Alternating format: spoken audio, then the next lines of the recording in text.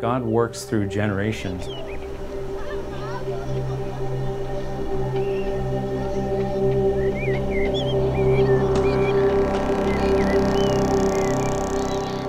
He calls us to impact them in intentional ways.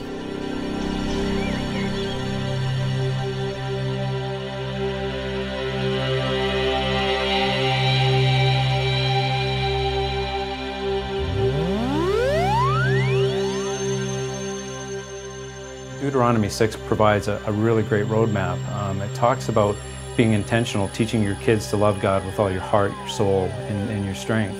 But it goes on and talks about when you're walking in the way with your kids, you're to impress the things of God upon their heart. You're to be living authentically uh, and reflecting the life of Christ through the way we live as leaders, uh, as parents. And it, it's to have an impact upon our kids to equip them to be the next generation uh, of godly leaders.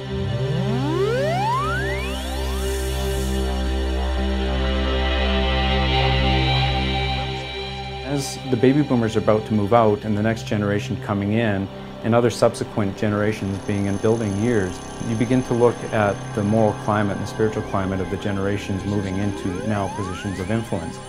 And that's concerning. There's a, a waning Christian worldview taking place with this shift.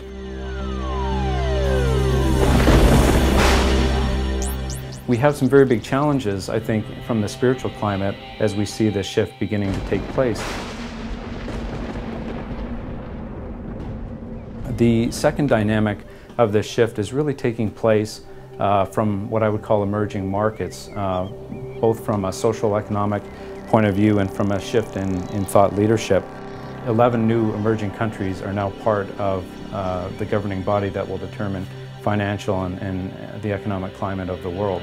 Many of them are, are very much not from a world Christian uh, view, and uh, our children will be faced as being leaders within a new dynamic uh, place.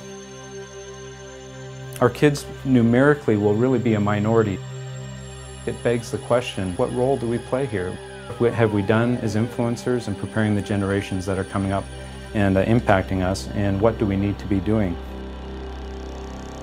Christian parents, educators, Christian leaders play a very significant role in that, in influencing these generations.